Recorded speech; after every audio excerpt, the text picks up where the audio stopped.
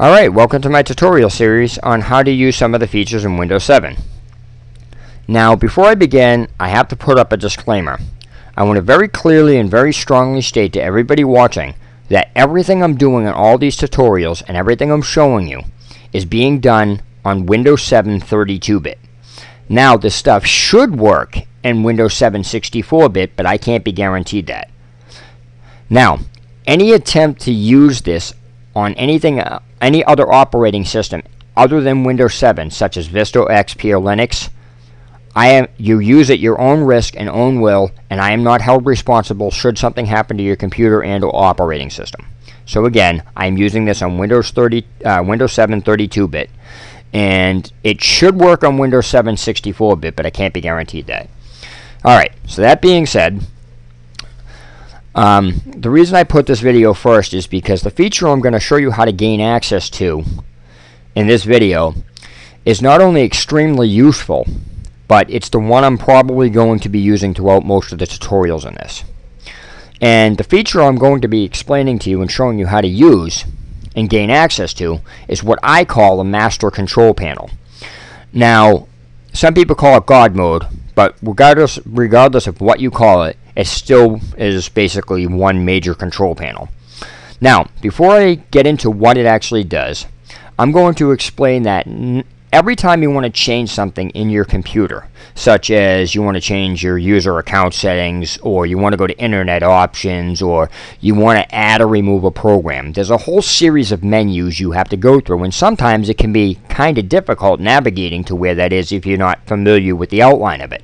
So let's say I wanted to go to internet options.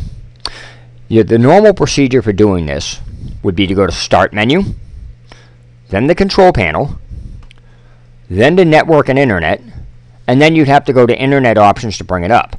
And let's say you didn't want to go there, have to continue going through that process, you'd normally just make a shortcut on your desktop by right clicking on it, going to create shortcut, then closing it. Now it's where you want it. Every time you want to open it, you just have to double click it.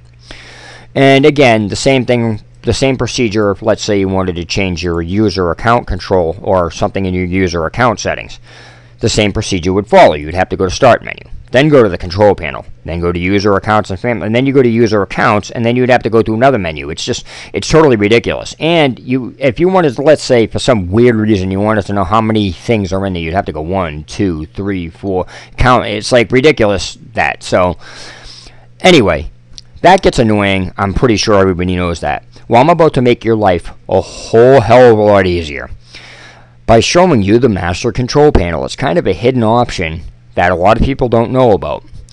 So I'm going to show you how to how to actually gain access to that so you don't have to worry about ever having to navigate through that many problems or not knowing where you're navigating.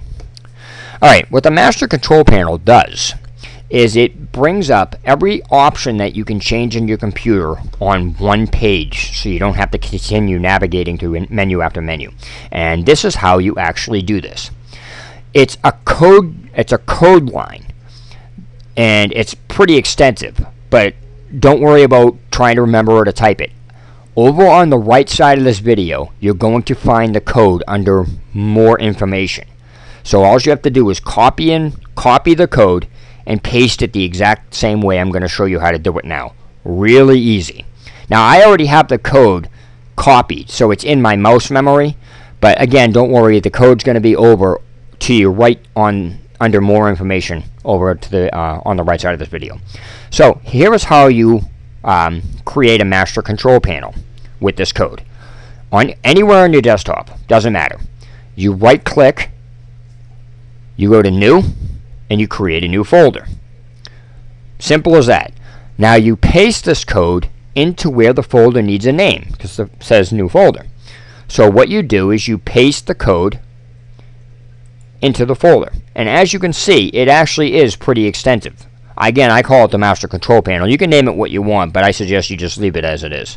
Alright, now, when you copy and paste the code over on the right side, you're going to copy all of this. You're going to start with the M and just copy the entire thing all the way to the last bracket.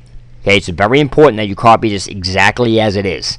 Now, once you get this paste it into a folder, all you have to do is click off to the side. And as you can see, it now turns into a master control panel.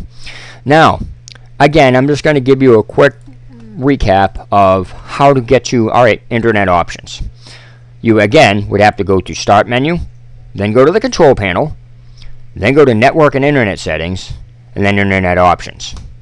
Now, let me show you why this is so easy and so good. All you have to do is double click the master control panel and as you can see now everything that you can change from your computer is all right in front of you from one screen. There are so many options in here to change. Now, what's co cool about this too is, let's say I wanted to go change my internet options.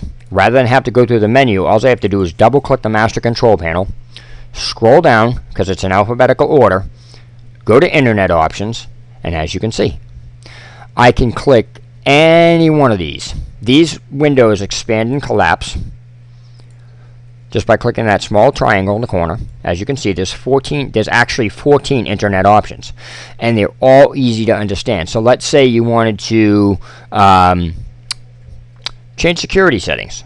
You just double click one of these options, and off it pops up. So there are all your internet properties right in front of you. Real easy. So again, now you don't have to worry about navigating to folder after folder after folder after folder and sometimes getting lost if you're not familiar with it. So that is a master control panel. That is how you access it. Again, the code is off to the side on uh, under more information on this video, so you don't have to worry about anything. And again, when you uh, copy it, you want to copy it from the M all the way to the last bracket. I'm sorry I'm stressing this, but this is really important because if you miss it, it's, if you miss one of these things, if you miss a bracket, if you miss a letter, a dash, anything, it's not going to work right. So again, be very make sure you copy everything from left or right over that's on the right side of the video. And again, you just go make a new folder on your desktop and then you rename it. I'm sorry, I'm a little I'm I'm actually stating ahead of myself, so it's not that the video is behind. So anyway, you go to you make a new folder, and then you just paste it in as the name. And now you have your master control panel with everything in it. And again, all these windows will collapse. All these windows can collapse. And as you can see, there's a mess of options in here. Again, some people won't find this helpful. Some people will find this completely useless. I think it's awesome. But I figured at least I'd share it with you so now you know. Alright, there's the first instructional video, and now in the second instructional video, I'm going to um, go over Internet Explorer, um, how to enable it, disable it, um, give some myths about, you know, what's broken in Internet Explorer, if anything, compare it to Google Chrome and um, Mozilla Firefox. So, stick around for that, and I'll um, talk to you in a minute, or I'll talk to you in the next video. Alright, take care.